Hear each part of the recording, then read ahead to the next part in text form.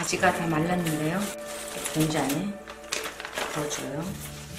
가지를 이렇게 3, 40분 불리면 되게 부드러워졌어요. 이제 맛있는 가지 나물이 완성됐어요. 안녕하세요. 종갓집 메밀입니다. 요즘에 저는 시장을 다니다가 저렴한 나물들이 있으면 말려서 저장하기가 바쁜데요. 가지가 엄청 저렴하게 나왔더라고요. 이거를 한번 말려볼게요. 이런 것들을 귀찮게 생각하면 한없이 귀찮은데요. 재미를 들이면 정말 재밌어요. 먹기 좋은 크기로 썰어주면 돼요. 사 먹으면 되지 뭘 그렇게 번거롭게 할까라고 생각하실 수 있는데요. 말려놓은 걸 다 먹어서 건조된 가지를 사가지고 왔는데요.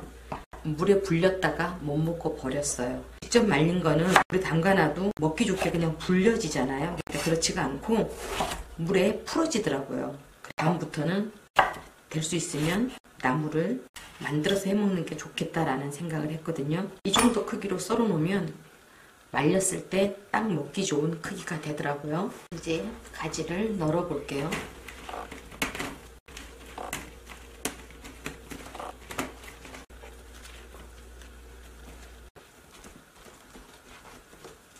말려서 올게요. 가지가 다 말랐는데요.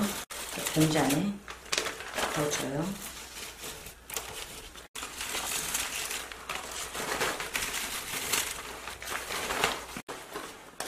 바싹 말린 가지나물 40g에 물을 부어줘요.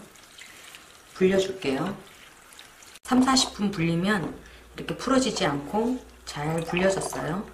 이거를 살짝만 이렇게 짜줄게요. 가지를 부어주고요. 들기름을 반만 넣어줄게요.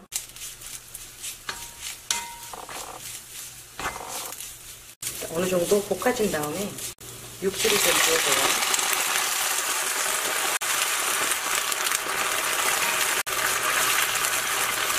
국간장 반 큰술, 참치에 반 큰술 넣어줘요. 물기를 짰기 때문에 이 물이 식감 좋게 가지가 불려져요. 여기에 마늘 반 큰술 넣어줄게요. 불은 강불에 하지 말고요. 은은한 중불에 하는 게 좋아요. 여기에서 푹 무른 게 좋다고 하면 육수를 250ml 정도 부어주면 되는데요. 저는 200ml만 부었어요. 쭉 썰은 거를 좀 넣어줘요. 대파 썰은 것도 좀 넣어주고요.